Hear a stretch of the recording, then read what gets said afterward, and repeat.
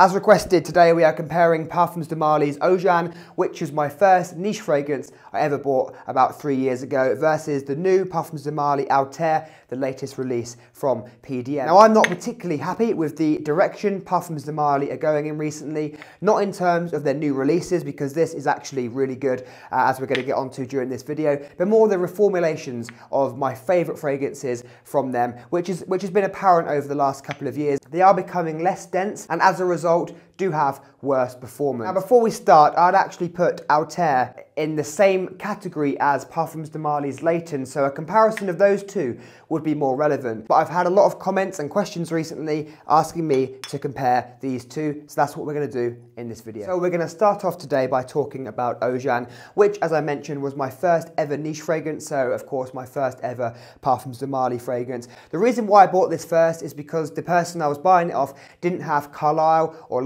Layton in stock, which is the one I really wanted to buy, but he had this, so I thought, well, I'm gonna buy this and see how it goes. Now, when I first tried it, I wasn't that impressed because I already had Paco Rabanne 1 million Privé in my collection. This was a time when I wasn't very experienced with fragrances, I wasn't making videos, and I didn't know a whole lot about niche fragrances. So when I received this, um, at first, it reminded me slightly of Paco Rabanne 1 million Privé, so I wasn't that impressed with how this smelt. But I left it on my shelf for a few months. I kept going back to it here and there. And there was one moment when it really clicked how magical Oajan was. And, and I smelt it and it reminded me of a, a boozy fragrance. If you could imagine smelling a, a beautiful, sweet 12 year old oak barrel matured whiskey. I kind of got that vibe from this, even though this is not marketed as a boozy fragrance. And in the notes, you'll not find any mention of boozy notes. On my skin, it just came across as a slightly boozy fragrance. And from then, I fell in love with it. And now it's one of my favorite niche fragrances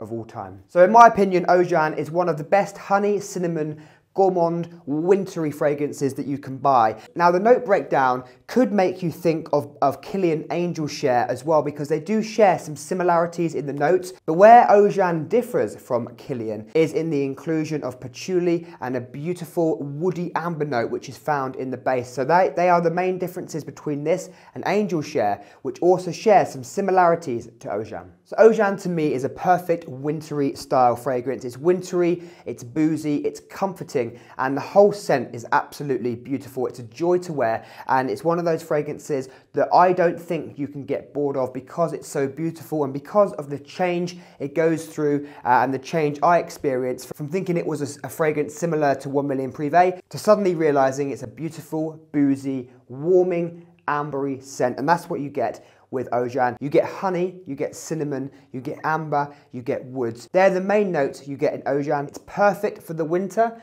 and it's a must have if you love the honey cinnamon and gourmand style fragrances. So we move on to the new Althair. Now this is lighter in profile, not in terms of strength because this is a long lasting fragrance, but the vanilla is lighter. This opens up with a spicy bergamot note and then you have this beautiful airy vanilla that hits you almost straight away. Now in the base notes you get ambroxan, you get a beautiful sweet but delicate praline note and you also get some guaiac wood. So in Althair you have this contrast of brighter notes such as bergamot and ambroxan. Ambroxan, in my opinion, is what gives this fragrance that lift and that airy quality from the vanilla. So you have the contrast of the brighter, airy notes mixed with the sweeter vanilla and praline. So for me, when I first tried Althair, I did really enjoy it. It reminded me of, of what Parfums de is all about, and that is the, the beautiful vanilla fragrances, more designed for the cooler weather. Now, like many of the other Parfums de Marly fragrances, Althair is not going to be a complex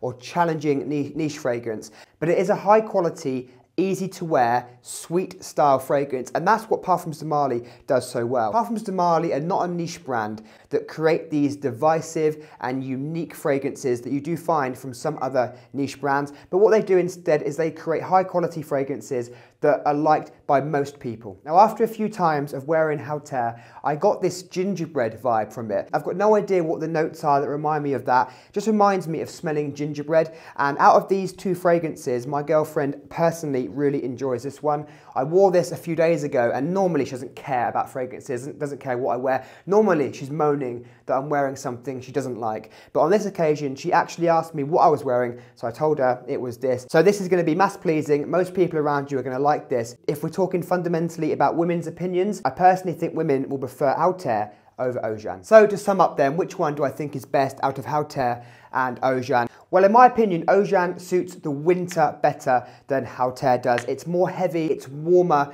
It makes me think of really cold weather when I want to feel ultra warm and comfortable. Althair, on the other hand, would suit most occasions. You could wear this in the autumn. I think this is a really great depiction of autumn weather. Also, when we go into early spring, think March, early April as the, as the weather starts to warm up, but it's still quite cold outside. Althair is going to be absolutely brilliant. So we have ultra sweet honey, boozy amber in Oajan, perfect for the winter, versus the lighter, area, perfectly sweet and balanced vanilla that we get in Althair. And whilst Althair may be liked by women more, in my opinion, I personally prefer the smell of Oajan. This for me is one of the best fragrances that Parfums de do. It might even be my favourite fragrance from Parfums de simply because it was my first niche fragrance that I got. But I prefer the smell of this. I think it's a more interesting smell and I just and I would just prefer to smell like Oajan. In terms of the performance, they actually have quite similar performance. However, Althair does project more of my skin.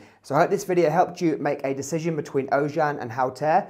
Let me know in the comments, what's your favourite fragrance from Parfums de Marly?